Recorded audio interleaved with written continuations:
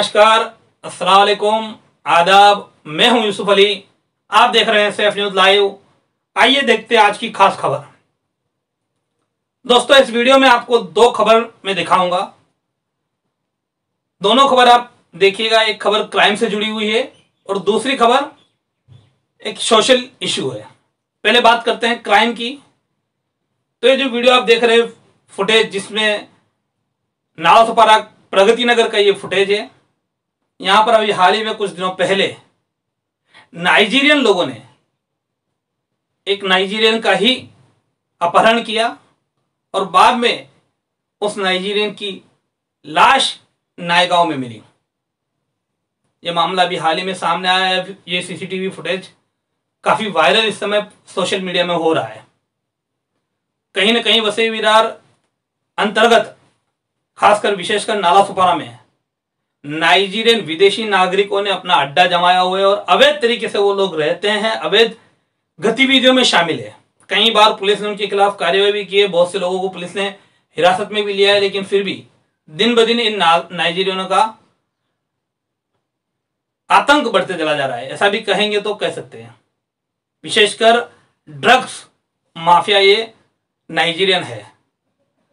और इस वीडियो में तो आप देख सकते हैं कि किस तरह से एक शख्स का, इन्हीं में से एक शख्स का ये अपहरण कर रहे हैं, जिसकी लाश पुलिस को मिली है। इन नाइजीरियन को नाला सुपार में रहने के लिए आराम से मकान भी मिल जाते हैं।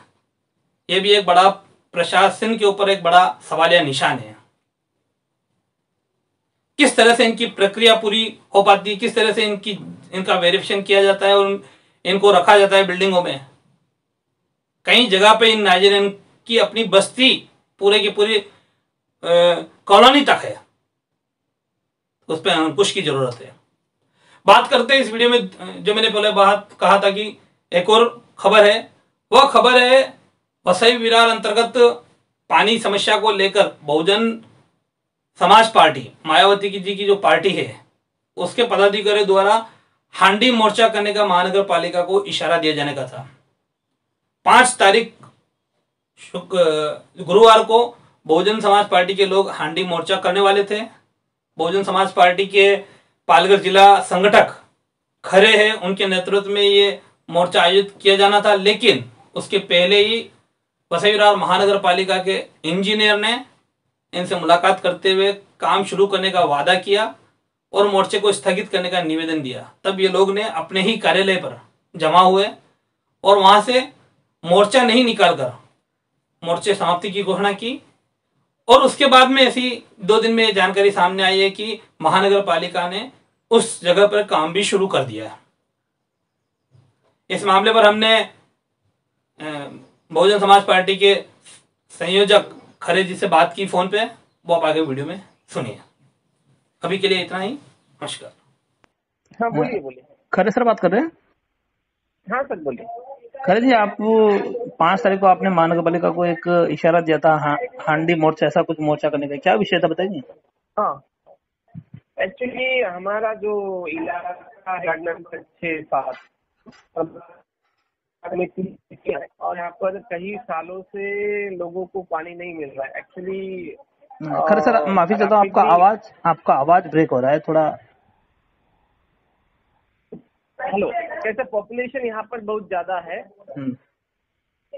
तो वो हिसाब से यहाँ पर जो है महानगर पालिका की तरफ़ से कोई ऐसा नियोजन नहीं है कि उतनी पॉपुलेशन को पानी पुरोठा किया जाए। हेलो हाँ। जी। तो वो हिसाब से हम कई सालों से महानगर पालिका से करस्पॉन्डेंस कर रहे हैं लेकिन उन्होंने अभी तक कुछ खास जो है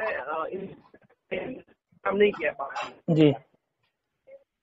उन्होंने कुछ महानगर के कमिश्नर साहब उनको